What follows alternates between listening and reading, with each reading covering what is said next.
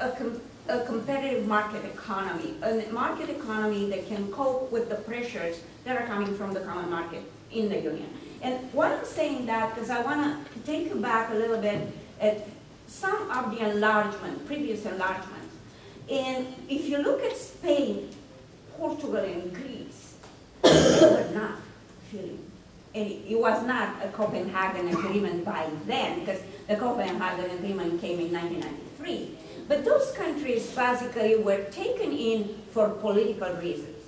Now, if we look at the 2004 enlargement with the Eastern European countries, 2007, in 2007 you got Romania and Bulgaria in there, countries that I know very well, that to me didn't seem like it was a political decision because they promised them.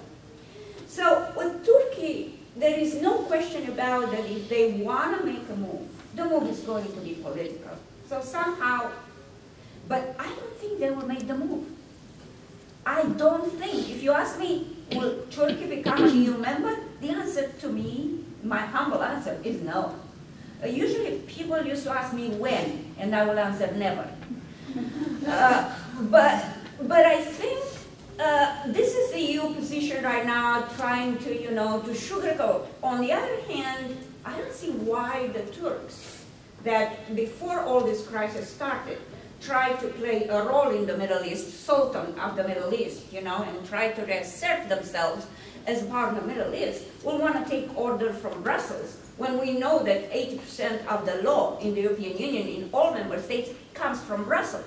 I mean, basically, uh, European, uh, the European population does not know that. They are not aware how much of the law is coming from. They hate Brussels, but I'm not sure they know for what. they just hate institutions, you know. Uh, but yeah, they have good reasons out here say. So there are two things. I don't think that they, they will pay Turkey as much as they can. They will be successful? No. Because Turkey can absorb only as much as it can. And Turkey right now has its own problem, its own border in, you know, right now they are sh shooting, down Russian planes or something. Mr. Putin is getting nervous about, you know, what you it was a good cartoon with Mr. Obama, you know, calling Mr. Putin, what you what you gonna have gonna have for Thanksgiving, and blood saying Turkey. and uh, I I really don't. You're right, but we're not gonna go to the acquis communautaire. They won't close the chapter. If they wanted to give it to them, they will, because they are corrupt in Brussels. I mean that's good, but they won't give it to them. That's my answer. Please. Um, Callaway Kirkland. So all the pictures that are on social media and that are going around of all the Syrian refugees on the boats and where they have a place to go, um, since they're that Obama is trying to allow 10,000 Syrian refugees to come into the States, and it takes 18 to 24 months for each refugee to go through the vetting process, do you think that because Syria is in a state of emergency, because they're already coming across the ocean that the vetting process will either be rushed or um, changed due to this? And if so, um, for the time being, since they're on these boats and they don't have a place to go, where will they be for this vetting process? The short answer is no. I don't think that there's going to be any acceleration because, frankly, uh, you know, this is a European and Middle Eastern issue. It, it hasn't really hit the United States.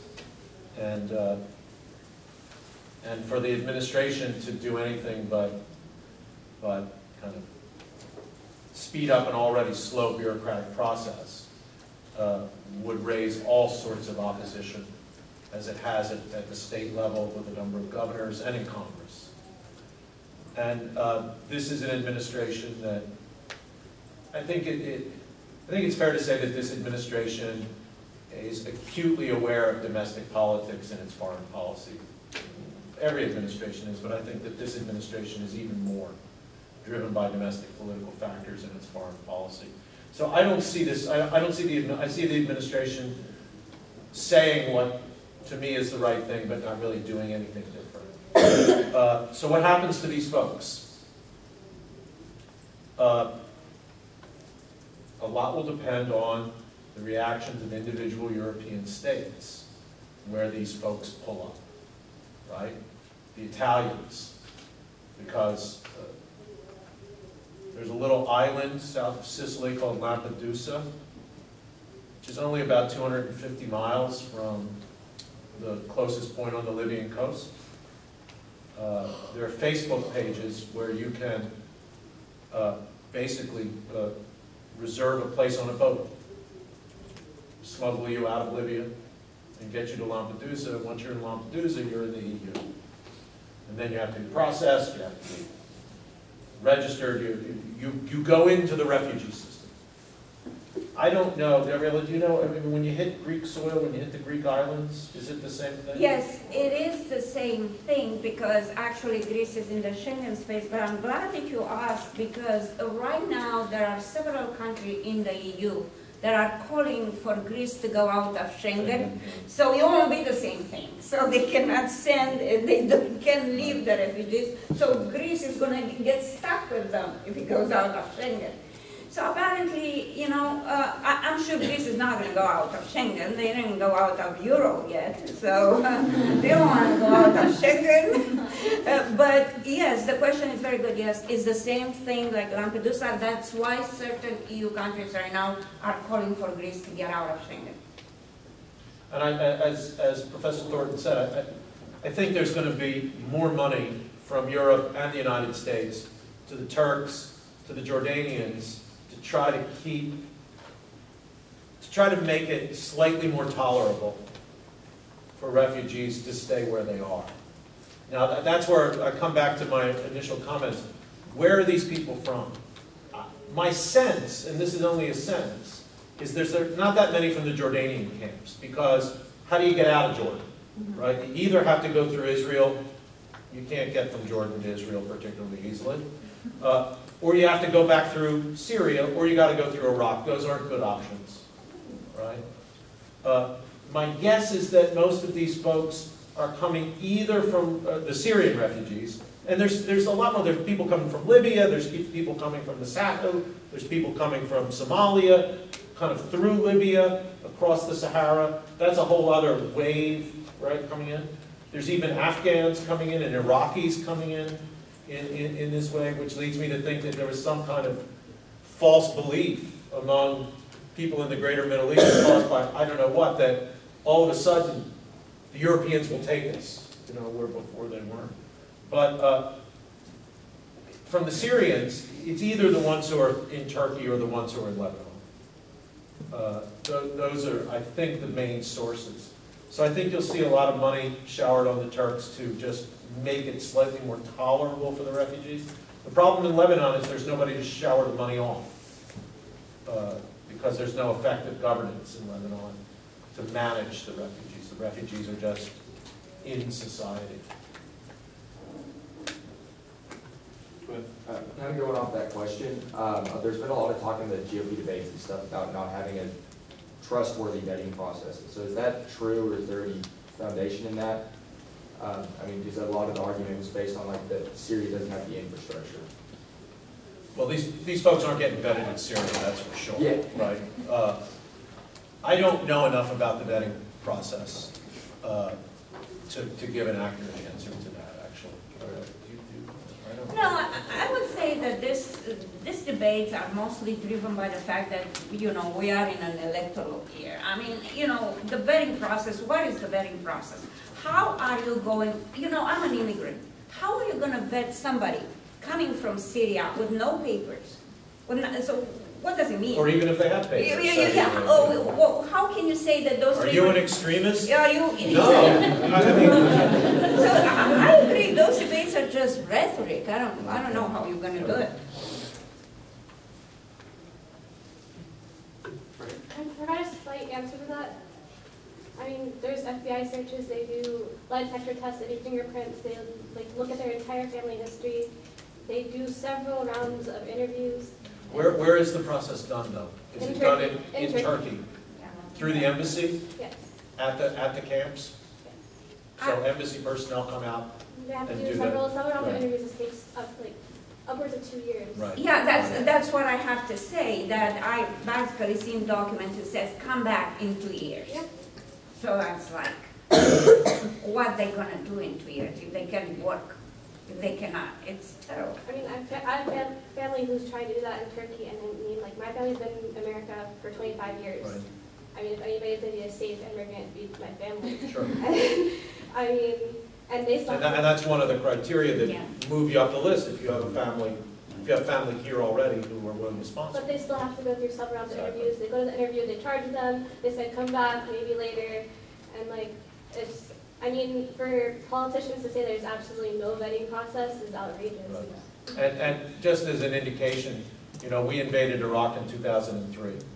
Quite a few Iraqis who worked for us while we were there are still waiting to get visas and, and uh, permission to come to the United States. These are people who actually work for the U.S. government, work for the U.S. military, put themselves at risk to do that, and uh, you know, the, the process on getting them into the country has been going on for years and years and is still extremely slow. So, uh, Of all the ways to get into the States, this is the most difficult. right. Get a tourist visa, you can get there a lot easier. Other questions? I saw a bunch of hands come up. Over here. Um, you talked a lot about what it is that's caused this and what's going on right now, but I'm wondering, um, and I know this is an impossible question, but in your opinion, what comes next? And is it the creation of the Syrian diaspora and of what the Khaliji states are afraid of? Right. Uh, Khaliji states, Mabruk, you were using a little Arabic there. Uh, Khalij means Gulf in Arabic. Uh, And so, uh,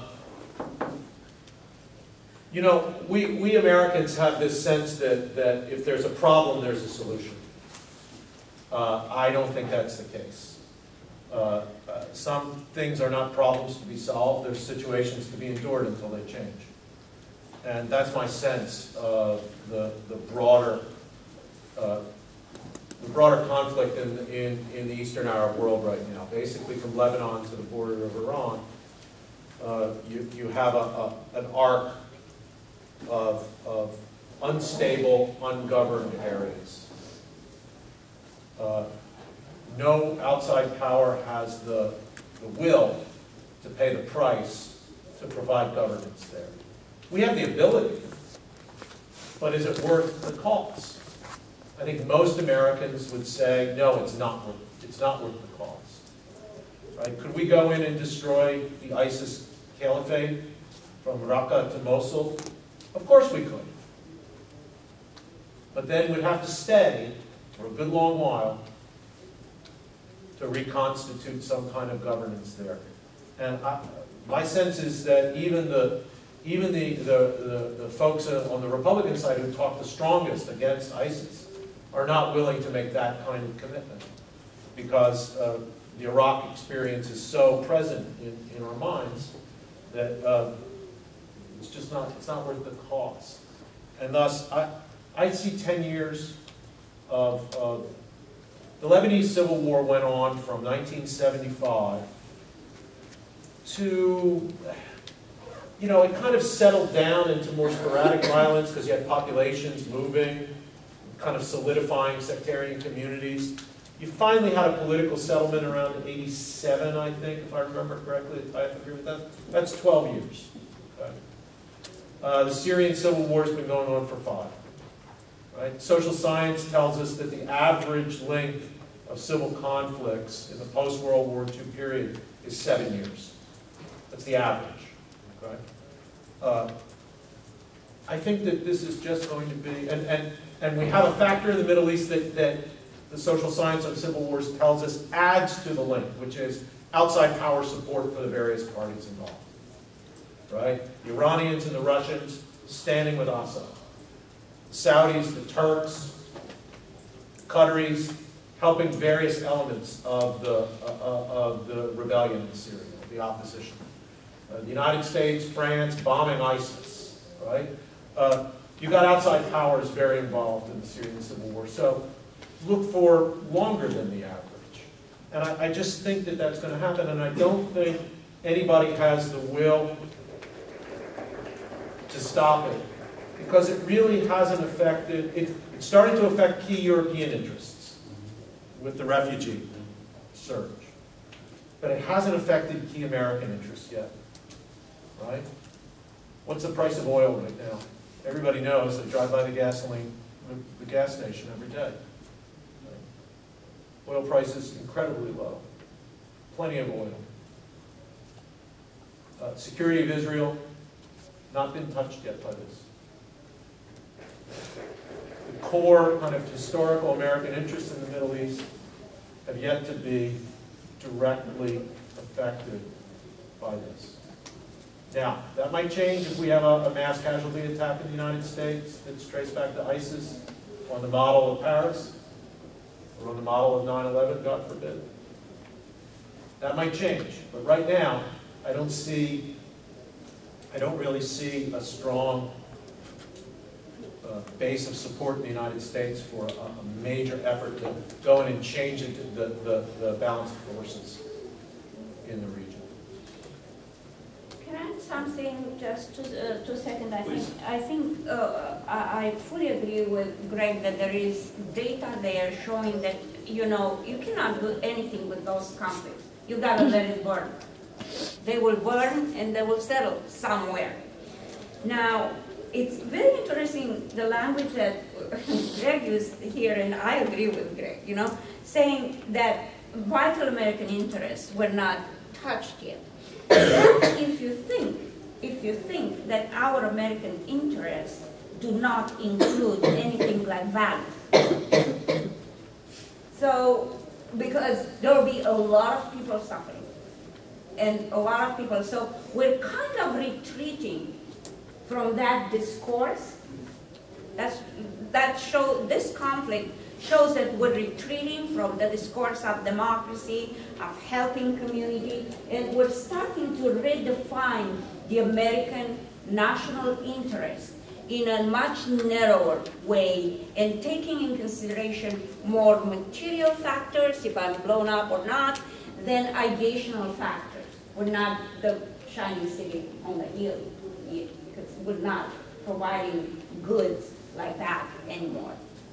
So I think we're seeing a clear redefinition of the American interest that goes back to what kind of strategies we'll be building from here, here. So I think it's very important what Greg said in that. Yeah, I would- I would certainly add that um, if you look at the history of American intervention, foreign intervention since 1945, we've taken a pretty dramatic turn uh, since Iraq and Afghanistan in terms of what we're willing to do. Uh, Of all the reasons to be involved, at least for the the way our ideology and our our stance was for most of the 20th century, of all the reasons to be involved abroad, a lot of boxes are getting ticked right now, and there's no interest. Questions still? We got a few more minutes, maybe one or two more? Please. Uh, Hi, I'm Alexis Maldonado. Um, Y'all have touched on this a little bit, uh, talking about how whenever other powers get involved, uh, civil conflicts tend to last longer.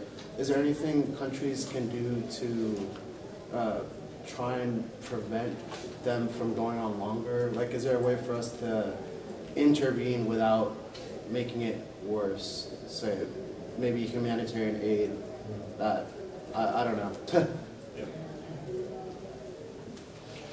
Um, I hate to say that, but if you actually look at a spectrum of American strategy, you're going to have some strategies that are land on, under lean forward, where you have gonna usually those strategies uh, equate national interest, America's security with the security of the world. So therefore, we're going to have to intervene in order to be secure. Now, if you go to the other end of the spectrum, you have those pull back, keeping pulling back, all sorts of strategies under all sorts of names. However, one is very interesting. Um, I think Nordlinger book is very interesting. It's an isolationist type of book in which he argues that we should retreat militarily. I argued in the 90s. I read it recently, so that's but he keeps arguing that well, while we retreat military, we should keep commitments to humanitarian aid. So basically, can, but the question is, can humanitarian aid make a difference? In short term, it's going to help people. In long term, humanitarian aid cannot make a difference. It's not going, humanitarian aid is not going to rebuild your community. It's not going to uh, create your state. It's not going to help, you know, to have a legitimate monopoly of force over a given territory, strengthen the state. It's going to help some people, we want to help them, but in long term, there is no different, I don't know, Greg. Yeah. No, I, I, in the Middle East, if you want to prevent these situations, you want to have a, a policy of, of avoiding the kinds of circumstances that lead to these big refugee flows and all, support hard-ass dictators. I'm sorry, it, it's not, it's not pleasant, but, uh, Gabriella mentioned the, the, the, the- the NATO intervention in Libya, right, has led to an outflow, an outflow of refugees. Uh, Muammar Gaddafi is not a nice man, was not a nice man. Uh, But we were doing business with him. And I, I, to this day, I really don't understand why we intervened. Uh, The Saudi government eh, represents absolutely none of the values that we hold in this country but they run their country. And, uh, you know, can you imagine the, the, the consequences of a collapse of authority in Saudi Arabia, the largest oil exporter in the world? Uh, gas wouldn't be a buck seventy-nine a gallon. Uh, So, I, are some really bad governments in the Middle East. But to me, the, the distinction, the, the most important distinction now is not between Sunnis and Shia, or between democracies and non-democracies, or even between pro-American and anti-American. The real distinction now is between states that actually govern their countries and states where authority has collapsed. And in states where authority has collapsed that are, I don't know if it's the cause, but it's the, it's the, it's the locus of a lot of these problems. One last question? Um, The Director General for Safety and Operations for the uh, German Defense Ministry, Commander Oliver Heineck, uh, he mentioned, this whenever I was there in July, that there's refugees coming into uh, Europe, 550,000 in the past year, 105,000 being Syrian, and 70,000 in the month of July. And he estimated in the next 10, 20, 30 years, coming from Africa alone, it could be up to 100 million, mostly coming from Tunisia and then going to Greece. And my question is, is hu- a hundred million. 100 million. That was his estimation whenever I was there from the German Defense Ministry. And uh, I guess my question is, what will this do to the European identity that you see in Berlin trying to create, or will we see it actually become more of a European identity between EU member states, or start looking more like Hungary and mainly coming from Budapest, where it's a very homogeneous society? Oh, that's, you know, I, don't know if he has his data correctly, but uh, it doesn't matter, you know. He is, he is, to me, the data seems a little bit exaggerated or more exaggerated. But if I understand your question right, if the question is, if those, a, a large amount of refugees are reaching Germany, what will that do to the European identity? Is that your question? The European identity that they're trying to create, not so much a state identity, but, But like a German identity, European- but a whole European. Well, I think your question, it is right on the money, because this is what they are afraid of. They keep on saying, look, uh, one is the ethnic identity of every group, you know, and we know the nation state is not quite the nation, the nation is kind of different from the state. And the other is what they were trying to create in, uh, the other thing is what they were trying to create in the sense of European identity. That was supposed to be, or is supposed to be a civic identity, like in the US.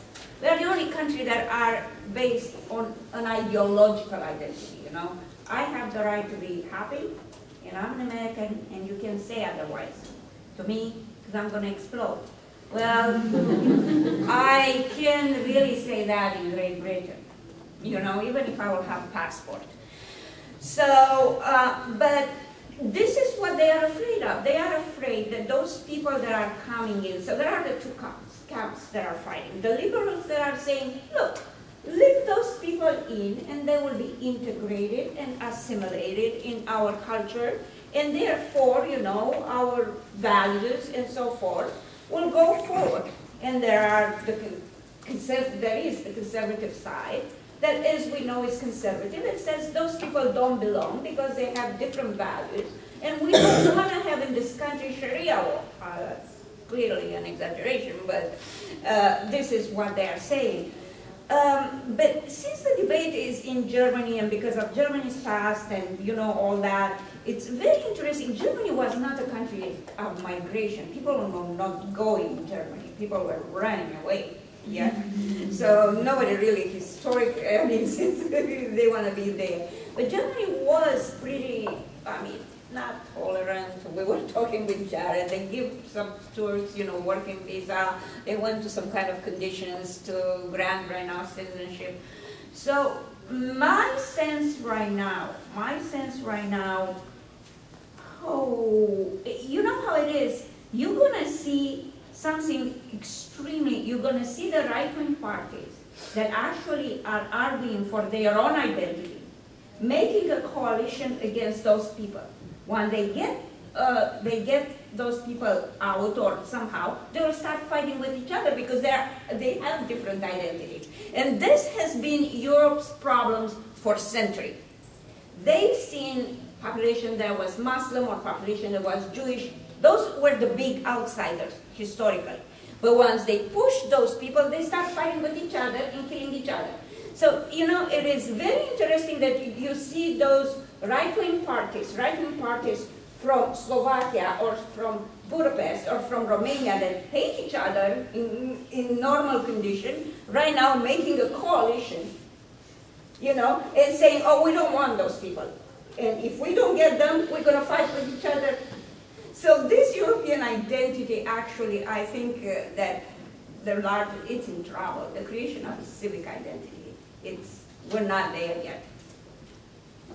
Well, I think we're about out of time. I'd like to say thanks once again to the Wiley Lecture Series for this forum. It's a great opportunity. Thanks to Professor Gause and Professor Thornton. Um, have a good night. In.